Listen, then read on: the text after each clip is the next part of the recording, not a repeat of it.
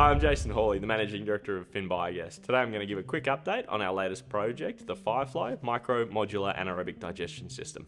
10 months ago, Finn was awarded a grant from the federal government as part of the Business Research Innovation Initiative program.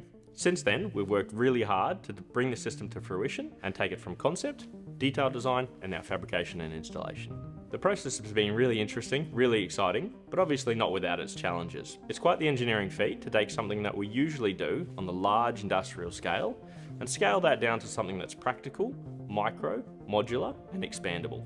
Our ultimate aim is to develop a system that's small and modular but still produces a good net energy benefit while being easy to operate and cheap to maintain. We feel like this is really key to the success of this project and the team's worked really hard to develop that. The system's designed around dry anaerobic digestion technology, which is an Australian first. Using dry AD means we can process all sorts of waste, such as curbside collected FOGO, post-consumer waste, or kitchen scraps from industrial kitchens, coffee shops, or even offices. The dry system is more tolerable to contamination which is typically found in these types of post-consumer waste.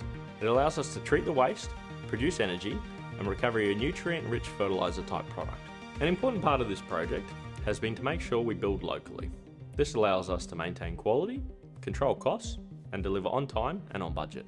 The system is designed to be modular in nature, meaning that you can expand it as your business grows. It's also flexible, meaning that we can configure your modules to either operate in anaerobic mode and produce biogas, or aerobic mode and just purely produce compost. The modular nature of this system means that construction is low impact and high speed. The units are built off-site, transported to your facility and assembled in only one or two weeks. The system has the capacity to process between 200 and 500 tonnes a year of organics, this makes it perfect for remote communities, city councils, zoos, or small to medium agribusinesses who are looking to make their waste work.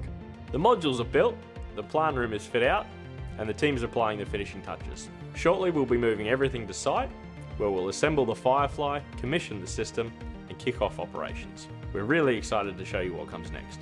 We want to give a big thank you to the Business Research Innovation Initiative and ARENA who have funded this project. It's because of programs like this that businesses like ours are able to have the confidence in investing in developing new and green technologies to help divert waste from landfill and create a green economy.